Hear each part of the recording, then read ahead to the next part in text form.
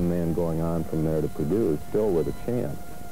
Uh, if Minnesota lost against Ohio State, uh, still a chance for a piece of the Big Ten title. Again, a big, big problem is the is the mental aspect of it.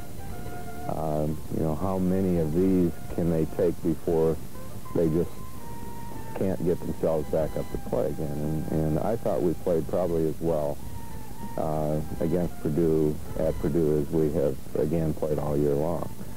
Um, but we got down to the, uh, you know, we we had a lead. We we lost some of that lead. We we regained some, and then we got down to the final stages of that ball game uh, where, uh, you know, the Iowa fans saw what uh, what occurred. I, I I didn't think I thought our guys played with tremendous courage and and uh, under some very difficult situations and circumstances and.